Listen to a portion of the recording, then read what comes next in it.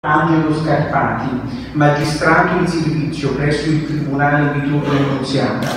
tenuto presente il disposto dell'articolo 72,9 del decreto legislativo 267 del 2000, in base al quale dopo il secondo turno di votazione e proclamato eletto sindaco il candidato alla predetta carica che abbia ottenuto il maggior numero di voti validi, accerta che il candidato signor Paolo Cimino ha riportato fra i due candidati alla carica di sindaco ammessi al turno di ballottaggio il maggior numero di voti validi, e cioè il numero 7792 voti validi. Per questi motivi, alle ore 12.15 del giorno 23 giugno 2016 proclama eletto alla carica di sindaco del comune di Gragnano il signor Paolo Cinnino, salve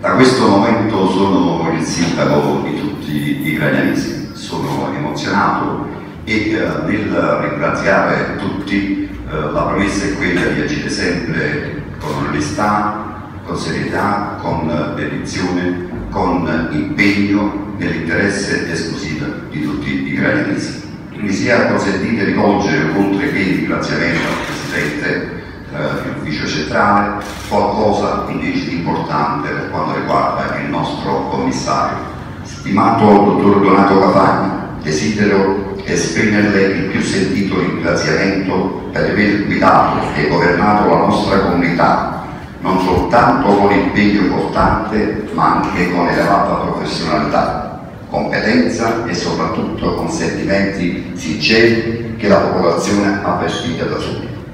Il suo contributo e la sua fattiva collaborazione sono state preziosi e determinanti per il raggiungimento di importanti obiettivi e costituiranno sicuramente l'inizio del nuovo cammino di responsabilità e di impegno da intraprendere, unitamente al gruppo consigliare neoletto. Desidero formularle il più vivo compiacimento per tutte le iniziative intraprese e per quelle portate a conclusione. Un sincero augurio di una sempre maggiore affermazione professionale con l'auspicio che il Comune di Gragnano, che mi auguro porteranno a cuore, possa essere fornire più ulteriori ed ancora più prestigiosi incarichi e riconoscimenti.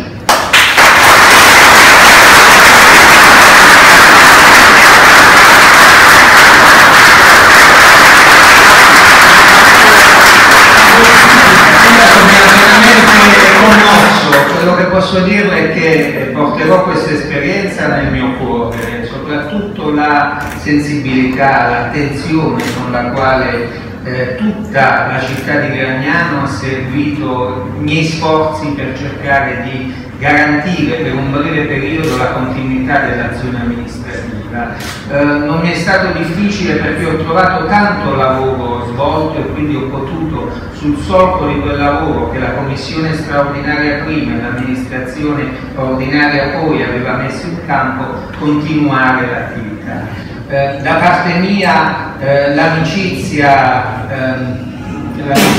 più, eh, più, sentita e più profonda nei confronti di questo territorio, nei confronti della sua amministrazione e grazie per le parole bellissime che ha inteso usare nei confronti. In bocca al lupo.